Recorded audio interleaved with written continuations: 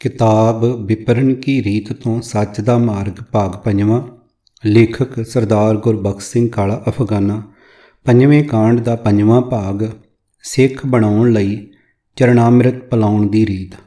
ਵਾਹਿਗੁਰੂ ਜੀ ਕਾ ਖਾਲਸਾ, ਵਾਹਿਗੁਰੂ ਜੀ ਕੀ ਫਤਿਹ। ਦਾਸ ਦੀ ਉਮਰ ਇਸ ਵੇਲੇ ਜਨਵਰੀ 1999 ਨੂੰ 77 ਸਾਲ ਦੀ ਹੋਣ ਵਾਲੀ ਹੈ। ਮਾਤਾ ਜੀ ਦੀ ਕਿਰਪਾ ਨਾਲ ਬਾਲ ਉਮਰ ਤੋਂ ਹੀ ਗੁਰੂ ਦਰਬਾਰ ਵਿੱਚ ਹਾਜ਼ਰ ਹੋ ਕੇ ਕਥਾ ਕੀਰਤਨ ਸੁਣਨ ਦੀ ਚੇਟਕ ਲੱਗ ਚੁੱਕੀ ਸੀ। ਸਾਡੇ ਪਿੰਡ ਦੇ ਗੁਰਦੁਆਰਾ ਸਾਹਿਬ ਦੇ ਗ੍ਰੰਥੀ ਬਾਬਾ ਕੇਸਰ ਸਿੰਘ ਜੀ ਗੁਰਮਤ ਦੇ ਗਿਆਤਾ ਅਤੇ ਬੜੇ ਰਹਿਤਵਾਨ ਗੁਰਸਿੱਖ ਸਨ। ਬੱਚਿਆਂ ਦੇ ਰਿਸ਼ਤੇ ਸਦਾ ਗੁਰਸਿੱਖ ਪਰਿਵਾਰਾਂ ਵਿੱਚ ਕੀਤੇ ਜਾਣ ਨੂੰ ਸਿੱਖੀ ਧਰਮ ਦਾ ਜ਼ਰੂਰੀ ਅੰਗ ਮੰਨਦੇ ਸਨ। ਉਹਨਾਂ ਦੀ ਬੱਚੀ ਪੰਥ ਦੇ ਪ੍ਰਸਿੱਧ ਕੀਰਤਨੀਏ ਭਾਈ ਸਮੁੰਦ ਸਿੰਘ ਜੀ ਨਾਲ ਵਿਆਹੀ ਹੋਈ ਸੀ। ਬਾਬਾ ਜੀ ਦੇ ਪ੍ਰਚਾਰ ਦਾ ਸਦਕਾ ਸਾਡੇ ਪਿੰਡ ਵਿੱਚ ਕਈ ਗੁਰਸਿੱਖ ਪਰਿਵਾਰਾਂ ਨੇ ਅੰਮ੍ਰਿਤਪਾਨ ਕੀਤਾ।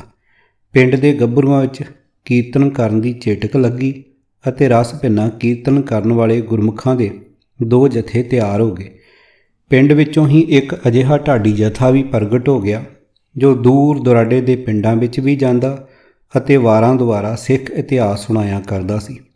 ਬਾਬਾ ਜੀ ਕੋਲੋਂ ਸੁਣਿਆ ਕਰਦੇ ਸਾਂ ਕਿ ਪੰਜ ਭੂਤਕ ਸਰੀਰ ਵਿੱਚ ਆਉਂਦੇ ਰਹਿਣ ਵਾਲੀ ਖੇਡ ਖਤਮ ਕਰਨ ਸਮੇਂ ਦਸ਼ਮੇਸ਼ ਜੀ ਨੇ ਖਾਲਸਾ ਪੰਥ ਦਾ ਬੂਟਾ ਸਦਾ ਹਰਾ ਭਰਾ ਰੱਖਣ ਲਈ ਹਰ ਇੱਕ ਗੁਰਸਿੱਖ ਦਾ ਹਰ ਪੱਖੋਂ ਨਿਆਰਾ ਰਹਿਣਾ ਜ਼ਰੂਰੀ ਫਰਮਾਨ ਕੀਤਾ ਸੀ।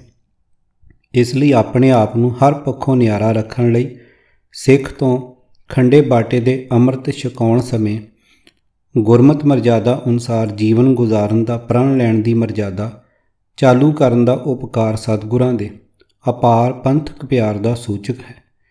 ਪੁਰਾਣਕ ਸਮੇਂ ਤੋਂ ਸਾਦਾ ਸੰਤਾਂ ਦੀ ਚਲਾਈ, ਪੈਰ ਧੋ ਕੇ ਪਲਾਉਣ ਵਾਲੀ ਹੀਣ ਰਸਮ ਦੇ ਥਾਂ, ਦਸ਼ਮੇਸ਼ ਜੀ ਨੇ ਸਿੱਖ ਧਰਮ ਵਿੱਚ ਖੰਡੇ ਬਾਟੇ ਦਾ ਅੰਮ੍ਰਿਤਪਾਨ ਕਰਨ ਦੀ ਬਿਲਕੁਲ ਨਵੀਂ ਮਰਜ਼ਾਦਾ ਬਣਾਈ ਹੈ। ਬਚਪਨ ਤੋਂ ਹੀ ਇਹ ਭਰੋਸਾ ਬਣ ਚੁੱਕਾ ਸੀ ਕਿ ਖੰਡੇ ਬਾਟੇ ਦਾ ਅੰਮ੍ਰਿਤ ਛਕਣ ਵਾਲਾ ਗੁਰਸਿੱਖ ਬੜਾ ਅਣਖੀ ਅਤੇ ਬਹਾਦਰ ਸਿੰਘ ਸੂਰਮਾ ਬਣ ਜਾਂਦਾ ਹੈ। ਇਹ ਵੇਰਵਾ ਕਦੇ ਨਹੀਂ ਸੀ ਸੁਣਿਆ ਕਿ ਸਿੱਖ ਬਣਨ ਲਈ ਪਹਿਲਾਂ ਪੈਰ ਧੋ ਕੇ ਪੀਣੇ ਜ਼ਰੂਰੀ ਸਨ ਅਤੇ ਹੁਣ ਸਿੱਖ ਬਣਨ ਲਈ ਖੰਡੇ ਬਾਟੇ ਦਾ ਅੰਮ੍ਰਿਤ ਛਕਣਾ ਇੱਕ ਜ਼ਰੂਰੀ ਸ਼ਰਤ ਹੈ। ਸਿੱਖ ਤੋਂ ਸਿੰਘ ਬਣਨ ਲਈ ਅੰਮ੍ਰਿਤ ਛਕਣਾ ਜ਼ਰੂਰੀ ਸਮਝਿਆ ਜਾਂਦਾ ਸੀ। 1978 ਦੀ ਵਿਸਾਖੀ ਵਾਲੇ ਸਾਕੇ ਦੇ ਪਿੱਛੋਂ ਅਥਵਾ 1984 ਤੋਂ ਸਾਧ ਟੋਲੇ ਦਾ ਬੋਲ ਬਾਲਾ ਹੋ ਜਾਣ ਤੇ ਇਹ ਰੌਲਾ ਬਹੁਤ ਜ਼ੋਰ ਫੜ ਗਿਆ ਕਿ ਗੁਰੂ ਨਾਨਕ ਜੀ ਦੇ ਸਮੇਂ ਤੋਂ ਗੁਰੂ ਵਾਲਾ ਬਣਾਉਣ ਲਈ ਚਰਨਾਮ੍ਰਿਤ ਪਲਾਇਆ ਜਾਂਦਾ ਸੀ।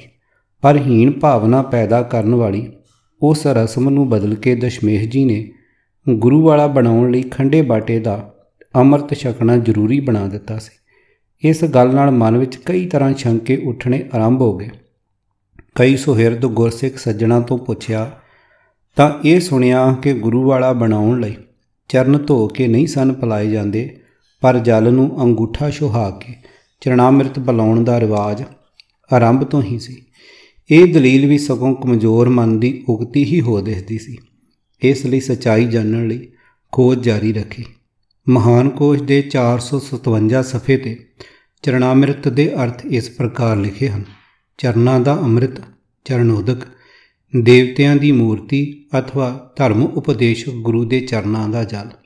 ਉਹ ਜਲ ਜਿਸ ਨਾਲ ਗੁਰੂ ਦੇ ਪੈਰ ਧੋਤੇ ਜਾਣ। ਨੌ ਸਤਗੁਰਾਂ ਵੇਲੇ ਸਿੱਖ ਧਰਮ ਵਿੱਚ ਲਿਆਉਣ ਲਈ ਚਰਨਾਮ੍ਰਿਤ ਪਲਾਇਆ ਜਾਂਦਾ ਸੀ। ਇਸ ਦਾ ਨਾਮ ਚਰਨ ਪਹੁਲ ਅਤੇ ਪੱਗ ਪਹੁਲ ਵੀ ਲਿਖਿਆ ਹੈ। ਅਜਹੀ ਵਿਚਾਰ ਸੁਣੀ ਪੜੀ ਪਰ ਗੁਰਮਤ ਦੀ ਕਸਵੱਟੀ ਤੇ ਪੂਰੀ ਨਾ ਉਤਰਦੀ ਹੋਣ ਕਰਕੇ ਹੋਰ ਖੋਜ ਜਾਰੀ ਰੱਖੀ। ਪ੍ਰਿੰਸੀਪਲ ਸਾਹਿਬ ਸਿੰਘ ਜੀ ਨੇ ਪਿਛਲੇ ਕਿਸੇ ਅਜਹੇ ਰਿਵਾਜ ਦਾ ਜ਼ਿਕਰ ਕਿਤੇ ਨਹੀਂ ਕੀਤਾ। ਭਾਈ ਵੀਰ ਸਿੰਘ ਜੀ ਵੀ ਇਸ ਮਸਲੇ ਵਿੱਚ ਚੁੱਪ ਹੀ ਨਜ਼ਰ ਆਏ। ਐਸਜੀਪੀਸੀ ਵੱਲੋਂ ਪ੍ਰਕਾਸ਼ਿਤ ਹੋਈ professor Sher Singh MA PhD London ਦੀ ਲਿਖੀ ਪੁਸਤਕ ਗੁਰਮਤਿ ਦਰਸ਼ਨ ਦੇ 67 ਅਤੇ 68 ਸਫੇ ਤੇ ਇਸ ਪ੍ਰਕਾਰ ਲਿਖਿਆ ਹੈ। ਭਾਵੇਂ ਅੰਮ੍ਰਿਤ ਦਾ ਖਿਆਲ ਧੁਰਦਰਗਾਈ ਹੁਕਮ ਸੀ ਜਾਂ ਪਿਛਲੀ ਪ੍ਰਚਲਿਤ ਰੀਤ ਪਾਹੁਲ ਨੂੰ ਹੀ ਦਸ਼ਮੇਸ਼ ਜੀ ਨੇ ਇੱਕ ਨਵੇਂ ਸ਼ਾਨਦਾਰ ਸੂਰਬੀਰਤਾ ਦੇ ਸਰੂਪ ਵਿੱਚ ਪੇਸ਼ ਕੀਤਾ ਸੀ, ਪਰ ਸੀ ਇਹ ਇੱਕ ਕਰਾਮਾਤ। ਮੁਸਲਮਾਨਾਂ ਵਿੱਚ ਕੋਈ ਪਹੁਲਨੁਮਾ ਰਸਮ ਨਹੀਂ ਸੀ। ਉਹਨਾਂ ਵਿੱਚ ਸੁਨਨਤ ਦਾ ਰਿਵਾਜ ਹੈ। ਈਸਾਈਆਂ ਵਿੱਚ ਬੈਪਤਸਮਾ ਹੈ ਤੇ ਬੈਪਤਸਮੇ ਵਿੱਚ ਕਈ ਗੱਲਾਂ ਸਾਂਝੀਆਂ ਹਨ, ਪਰ ਅਮਰਤ ਦਾ ਖਿਆਲ ਨਿਰਾਪੁਰਾ ਵਿਦੇਸ਼ੀ ਨਹੀਂ ਹੈ। ਹਿੰਦ ਵਿੱਚ ਧਾਰਮਿਕ ਜਥੇਬੰਦੀ ਵਿੱਚ ਦਾਖਲ ਹੋਣ ਦੀ ਅਮਰਤੁਨਮਾ ਰਸਮ ਕਈ ਸ਼ਕਲਾਂ ਵਿੱਚ ਮੌਜੂਦ ਸੀ। ਸਿੱਖਾਂ ਵਿੱਚ ਹੀ ਪਹੁਲ ਦਾ ਰਿਵਾਜ ਮੁੱਢ ਤੋਂ ਚਲਾ ਆ ਰਿਹਾ ਸੀ। ਦੱਖਣੀ ਭਾਰਤ ਦੇ ਹਿੰਦੂਆਂ ਵਿੱਚ ਜੰਨੂ ਪਹਿਨਾਣ ਦੀ ਰਸਮ ਵੇਲੇ ਪਹੁਲ ਰੀਤੀ ਹੁੰਦੀ ਹੈ। ਕੁਝ ਵੀ ਸੀ, ਪਰ ਜਿਵੇਂ ਸ੍ਰੀ ਦਸ਼ਮੇਸ਼ ਜੀ ਨੇ ਅੰਮ੍ਰਿਤ ਤਿਆਰ ਕੀਤਾ, ਉਹ ਬਿਲਕੁਲ ਨਵਾਂ ਸੀ, ਨਿਰਾਲਾ ਅਤੇ ਅਣਖੀਲਾ ਸੀ। ਇਹ ਅੰਮ੍ਰਿਤ ਖਾਲਸਾ ਜਥੇਬੰਦੀ ਵਿੱਚ ਦਾਖਲ ਹੋਣ ਦੀ ਜ਼ਰੂਰੀ ਰਸਮ ਬਣਾਈ ਗਈ। ਭਾਵ ਅਮਰਧਾਰੀ ਖਾਲਸਾ ਜੋਧੇ ਬੇਅਮਰਤੀਏ ਸਿੱਖ ਜਗਤ ਦਾ ਬੜਾ ਉੱਜਾ ਅੰਗ ਸਮਝੇ ਜਾਂਦੇ ਸਨ। ਸਿੱਖ ਜਗਤ ਵਿੱਚੋਂ ਚੁਣੀ ਗਈ ਸੂਰਬੀਰ ਮਹਾਂਪੁਰਖਾਂ ਦੀ ਸਤਾਣੀ ਫੌਜ ਆਪਣੀ ਰੀੜ ਦੀ ਹੱਡੀ ਤੋਂ ਕਦੇ ਵੱਖ ਨਹੀਂ ਸੀ ਹੋਈ। ਅਸਲ ਵਿੱਚ ਖਾਲਸਾ ਬਹਾਦਰਾਂ ਦੇ ਅਦੁੱਤੀ ਕਾਰਨਾਮਿਆਂ ਦੇ ਪਿੱਛੇ ਉਹਨਾਂ ਦਾ ਵੀ ਭਰਪੂਰ ਹੱਥ ਸੀ, ਜਿਹੜੇ ਖਾਲਸਾ ਜਥੇਬੰਦੀ ਲਈ ਪਨੀਰੀ ਦੀ ਵਡਮੁੱਲੀ ਸੇਵਾ ਨਿਭਾ ਰਹੇ ਸਨ। ਇਹ ਸੇਵਾ ਬੇਅੰਤ ਹਿੰਦੂ ਪਰਿਵਾਰਾਂ ਤੋਂ ਇਲਾਵਾ ਕਈ ਮੁਸਲਮਾਨ ਪਰਿਵਾਰ ਵੀ ਸਾਮੀ ਨਿਭਾਉਂਦੇ ਰਹੇ ਸਨ। ਪ੍ਰੋਫੈਸਰ ਸ਼ੇਰ ਸਿੰਘ ਜੀ ਨੇ ਪਹੁਲ ਪੀਣ ਦਾ ਜ਼ਿਕਰ ਕੀਤਾ ਹੈ। ਮਹਾਨ ਕੋਸ਼ ਦੇ 759 ਸਫੇ ਤੇ ਪਹੁਲ ਦਾ ਅਰਥ ਪਾਣ ਚੜਾਉਣ ਵਾਲਾ ਧਰਮ ਮੰਤਰ ਨਾਲ ਤਿਆਰ ਕੀਤਾ ਜਲ ਲਿਖਿਆ ਹੈ। ਸਪਸ਼ਟ ਹੈ ਕਿ ਪਹੁਲ ਦਾ ਅਰਥ ਚਰਨਾਮ੍ਰਿਤ ਨਹੀਂ ਹੈ। ਪ੍ਰੋਫੈਸਰ ਸ਼ੇਰ ਸਿੰਘ ਜੀ ਦੀ ਪੁਸਤਕ ਵਿੱਚ ਗੁਰੂ ਨਾਨਕ ਸਾਹਿਬ ਜੀ ਦੇ ਮਨ ਤੇ ਪੁਰਾਤਨ ਰਿਵਾਜ ਦੇ ਅਸਰ ਹੋਣ ਦਾ ਜ਼ਿਕਰ ਹੋਰ ਵੀ ਕਈ ਥਾਈਂ ਹੈ, ਜੋ ਠੀਕ ਨਹੀਂ ਹੈ। ਤੁਰੋਂ ਹੀ ਨਿਆਰੀ ਮਰਜ਼ਾਦਾ ਲੈ ਕੇ ਆਏ ਪੂਰਨ ਸਤਗੁਰਾਂ ਦੇ ਮਨ ਤੇ। ਪ੍ਰਚਲਿਤ ਪੁਰਾਣੀਆਂ ਰੀਤਾਂ ਰਿਵਾਜਾਂ ਦਾ ਅਸਰ ਪੈਣ ਵਾਲੀ ਗੱਲ ਦਾਸ ਦੇ ਮਨ ਨੂੰ ਜ਼ਰਾ ਵੀ ਠੀਕ ਨਹੀਂ ਲੱਗੀ। ਇਹ ਜ਼ਰੂਰੀ ਨਹੀਂ ਹੈ ਕਿ ਪਾਠਕ ਸੱਜਣ ਦਾਸ ਦੇ ਮਨ ਵਿੱਚ ਉਪਜੇ, ਸ਼ੰਕਿਆਂ ਨਾਲ ਸਹਿਮਤ ਹੋਣ, ਪਰ ਚਰਨਾਮ੍ਰਿਤ ਪਲਾਉਣ ਵਾਲੀ ਗੱਲ ਦੇ ਵਿਚਾਰ ਨਾਲ ਦਾਸ ਦੇ ਮਨ ਨੂੰ ਹੇਠ ਲਿਖੇ ਸ਼ੰਕੇ ਅਵਸੋਂ ਹੀ ਆ ਘੇਰਦੇ ਹਨ। ਊੜਾ, ਸਿਮਰਤੀਆਂ ਅਨੁਸਾਰ ਹਿੰਦੂ ਧਰਮ ਵਿੱਚ ਲਿਆਉਣ ਲਈ ਜਨੇਊ ਪਾਉਣਾ ਜ਼ਰੂਰੀ ਰਸਮ ਸੀ। ਪਰ ਸਤਗੁਰਾਂ ਨੇ ਬਚਪਨ ਵਿੱਚ ਹੀ ਵਿਖਾਵੇ ਵਾਲੀ ਕਿਸੇ ਅਜਹੀ ਰਸਮ ਨੂੰ ਪ੍ਰਵਾਨ ਨਹੀਂ ਸੀ ਕੀਤਾ ਜਨੇਊ ਪਾਉਣ ਲੱਗੇ ਪ੍ਰਹੁਤ ਕੋਲੋਂ ਸਤਗੁਰਾਂ ਨੇ। ਅਜਿਹਾ ਜਨੇਊ ਮੰਗ ਲਿਆ ਸੀ, ਜੋ ਨਾ ਕਦੇ ਟੁੱਟੇ, ਨਾ ਮੈਲਾ ਹੋਵੇ, ਨਾ ਸੜੇ, ਅਤੇ ਜੋ ਮਰਨ ਉਪਰੰਤ ਵੀ ਸਾਥ ਨਾ ਛੱਡੇ, ਨਾ ਇਹ ਟੁੱਟੇ, ਨਾ ਮਲ ਲੱਗੇ, ਨਾ ਇਹ ਜਲੇ ਨਾ ਜਾਏ। ਪੰਨਾ 471 ਪਾਗੜ। ਜਦ ਮੁਸਲਮਾਨੀ ਧਰਮ ਵਿੱਚ ਲਿਆਉਣ ਲਈ ਸੁਨਨਤ ਵਾਲੀ ਸ਼ਰਤ ਦੀ ਗੱਲ ਹੋਈ, ਤਾਂ ਸਤਿਗੁਰਾਂ ਨੂੰ ਉਹ ਬਾਣੀ ਪਿਆਰੀ ਲੱਗੀ, ਜਿਸ ਵਿੱਚ ਲਿਖਿਆ ਹੈ ਸੁਨਨਤ ਕੀਏ ਤੁਰਕ ਜੇ ਹੋਏਗਾ, ਔਰਤ ਕਾ ਕਿਆ ਕਰੀਏ ਅਰਧ ਸਰੀਰੀ ਨਾਰ ਨਾ ਛੋੜੇ ਤਾ ਤੇ ਹਿੰਦੂ ਹੀ ਰਹੀਏ ਪੰਨਾ 477 ਸੋ ਆਪਣਾ ਸਿੱਖ ਬਣਾਉਣ ਲਈ ਕਿਸੇ ਵਿਖਾਵੇ ਵਾਲੀ ਰਸਮ ਨੂੰ ਸਤਿਗੁਰ ਜੀ ਕਿਵੇਂ ਪ੍ਰਵਾਨ ਕਰ ਸਕਦੇ ਸਨ? ਭਾਗੀੜੀ ਕਿ ਗੁਰੂ ਨਾਨਕ ਸਾਹਿਬ ਜੀ ਨੂੰ ਖੰਡੇ ਬਾਟੇ ਦਾ ਅੰਮ੍ਰਿਤ ਤਿਆਰ ਕਰਨ ਦੀ ਜਾਂਚ ਨਹੀਂ ਸੀ, ਜੋ ਉਹ ਪੈਰ ਧੋ ਕੇ ਪਿਲਾਉਣ ਵਾਲੀ ਬ੍ਰਾਹਮਣੀ ਰਸਮ ਅਪਣਾ ਬੈਠੇ। ਦਾਸ ਦੀ ਮੰਨ ਲੈਣਾ ਜਾਂ ਸੋਚਣਾ ਜ਼ਹਿਰ ਦਾ ਘੁੱਟ ਭਰਨ ਤੁਲ ਹੈ। ਇਹੋ ਗੱਲ ਠੀਕ ਲੱਗਦੀ ਹੈ ਕਿ ਸਿੱਖ ਖੰਡੇ ਬਾਟੇ ਦੀ ਪਹੁਲ ਛਕਣ ਦੀ ਜ਼ਿੰਮੇਵਾਰੀ ਨਿਭਾਉਣ ਜੋਗਾ ਅਜੇ ਹੋਇਆ ਹੀ ਨਹੀਂ ਸੀ। ਉਚੇਚੀ ਜ਼ਿੰਮੇਵਾਰੀ ਵਾਲੀ ਦਾਤ ਦੀ ਬਖਸ਼ਿਸ਼ ਬੜੇ ਢੁਕਵੇਂ ਸਮੇਂ ਤੇ ਹੀ ਹੋਣੀ ਸੀ। ਭਾਗ ਸੱਸਾ। ਡੇਰੇਦਾਰ ਅਥਵਾ ਉਹਨਾਂ ਦੇ ਚੇਲਿਆਂ ਦੇ ਪ੍ਰਚਾਰ ਅਨੁਸਾਰ ਗੁਰੂ ਨਾਨਕ ਸਾਹਿਬ ਜੀ ਕੇਵਲ ਉਹਨਾਂ ਦੇ ਹੀ ਗੁਰੂ ਸਨ, ਜਿਹੜੇ ਉਹਨਾਂ ਦੇ ਪੈਰ ਧੋ ਕੇ ਪੀ ਲੈਂਦੇ ਸਨ। ਪਰ ਭਾਈ ਗੁਰਦਾਸ ਜੀ ਨੇ ਤਾਂ ਗੁਰੂ ਨਾਨਕ ਸਾਹਿਬ ਜੀ ਨੂੰ ਜਗਤ ਗੁਰ ਬਾਬਾ ਲਿਖਿਆ ਕਿ ਗੁਰੂ ਨਾਨਕ ਸਾਹਿਬ ਜੀ ਸਾਰੇ ਜਗਤ ਦੇ ਗੁਰੂ ਨਹੀਂ ਸਨ, ਕਿ ਉਹ ਕੇਵਲ ਉਹਨਾਂ ਦੇ ਹੀ ਗੁਰੂ ਸਨ, ਜਿਨ੍ਹਾਂ ਨੇ ਉਹਨਾਂ ਤੋਂ ਚਰਨਾਮ੍ਰਿਤ ਪੀ ਲੈਣੀ ਪ੍ਰਮਾਨ ਕਰ ਲਈ ਸੀ। ਹਾਹਾ ਗੁਰੂ ਗ੍ਰੰਥ ਸਾਹਿਬ ਜੀ ਦੀ ਬਾਣੀ ਵਿੱਚ ਬੇਅੰਤ ਗੁਰੂ ਸ਼ਬਦ ਹਨ, ਜਿਨ੍ਹਾਂ ਦੁਆਰਾ ਇਹ ਵਿਸ਼ਵਾਸ ਵੱਜਦਾ ਹੈ ਕਿ ਸਤਿਗੁਰਾਂ ਦਾ ਉਪਦੇਸ਼ ਬਿਨਾਂ ਕਿਸੇ ਵਿਤਕਰੇ ਦੇ ਸਰਬ ਸਾਂਝ ਹੈ, ਪਰ ਸੰਤਾਂ ਮਹਾਂਪੁਰਖਾਂ ਦਾ ਡੇਰੇ ਦਾ ਟੋਲਾ ਇਹ ਕਹਿ ਰਿਹਾ ਹੈ ਕਿ ਗੁਰੂ ਉਪਦੇਸ਼, ਗੁਰੂ ਦੀਖਿਆ, ਗੁਰੂ ਗਿਆਨ ਕੇਵਲ ਉਸ ਨੂੰ ਹੀ ਮਿਲਦਾ ਸੀ ਜਿਹੜਾ ਸਤਿਗੁਰਾਂ ਦਾ ਚਰਨਾਮ੍ਰਿਤ ਪੀ ਕੇ ਗੁਰੂ ਵਾਲਾ ਬਣਦਾ ਸੀ ਪਾ ਬਾਕੀ ਲੋਕਾਂ ਨਾਲ ਸਤਿਗੁਰਾਂ ਦਾ ਕੋਈ ਵਾਸਤਾ ਨਹੀਂ ਸੀ। ਸਤਿਗੁਰਾਂ ਦੇ ਜਗਤ ਗੁਰੂ ਹੋਣ ਬਾਰੇ ਸ਼ੰਕੇ ਪੈਦਾ ਕਰਨ ਵਾਲੀ ਗੱਲ ਤੋਰਨੀ ਪੰਥਕ ਸੇਵਾ ਨਹੀਂ ਹੈ। ਭਾਗ ਕੱਕਾ, ਕਿ ਭਾਈ ਮਰਦਾਨਾ ਜੀ, ਰਾਜਾ ਰਾਏ ਬੁਲਾਰ ਜੀ, ਪੀਰ ਮੀਆਂ ਮੀਰ ਜੀ, ਪੀਰ ਬੁੱਧੂ ਸ਼ਾਹ ਜੀ, ਸੈਦ ਖਾਨ ਜੀ ਆਦ ਸਤਿਗੁਰਾਂ ਦੇ ਸਿੱਧਕੀ ਸਿੱਖ ਨਹੀਂ ਸਨ? ਕਿ ਉਹਨਾਂ ਨੇ ਸਤਿਗੁਰਾਂ ਤੋਂ ਕੁਰਬਾਨ ਹੋਣ ਵਿੱਚ ਕਦੇ ਕੋਈ ਝਿਜਕ ਵਿਖਾਈ ਸੀ? ਕੀ ਕਾਰਨ ਹੈ ਕਿ ਉਹਨਾਂ ਵਿੱਚੋਂ ਕਿਸੇ ਦਾ ਪਰਿਵਾਰ ਵੀ ਸਿੱਖ ਨਹੀਂ ਹੈ? ਮੱਕੇ, ਬਗਦਾਦ, ਅਫਗਾਨਿਸਤਾਨ ਆਦਿ ਇਸਲਾਮੀ ਦੇਸ਼ਾਂ ਵਿੱਚੋਂ ਬਣੇ। ਬੇਅੰਤ ਗੁਰੂ ਸਿੱਖ ਕਿੱਧਰ ਗਏ? ਜੇ ਕਦੇ ਕਿਸੇ ਪਾਠਕ ਸੱਜਣ ਨੂੰ ਇਹਨਾਂ ਸ਼ੰਕਿਆਂ ਦਾ ਉੱਤਰ ਲੱਭ ਜਾਵੇ, ਤਾਂ ਦਾਸ ਨੂੰ ਸਮਝਾ ਦੇਣ ਦਾ ਉਪਕਾਰ ਕਰ ਦੇਵੇ। ਉਂਝ ਦਾਸ ਦਾ ਅਟਲ ਯਕੀਨ ਹੈ ਕਿ ਜੇ ਅਸੀਂ ਸਤਿਗੁਰਾਂ ਦੇ ਉਹਨਾਂ ਪੂਰਨਿਆਂ ਦੀ ਅਸਲੀਅਤ ਨੂੰ ਸਮਝ ਲੈਂਦੇ, ਜੋ ਉਹਨਾਂ ਨੇ ਗੁਰਮਤ ਸਿਧਾਂਤ ਨੂੰ ਹਰਮਨ ਪਿਆਰਾ ਬਣਾਉਣ ਲਈ ਹਜ਼ਾਰਾਂ ਮੀਲ ਦਾ ਵਿਖੜਾ ਪੈਂਡਾ ਝਾਕ ਕੇ ਪਾਏ ਸਨ ਤਾਂ ਸਾਰੇ ਸੰਸਾਰ ਨੂੰ ਅਮਰਧਾਰੀ ਸਿੰਘ ਸਜਿਆ ਵੇਖ ਸਕਣ ਵਿੱਚ ਕੋਈ ਕਸਰ ਨਹੀਂ ਸੀ ਰਹਿਣੀ।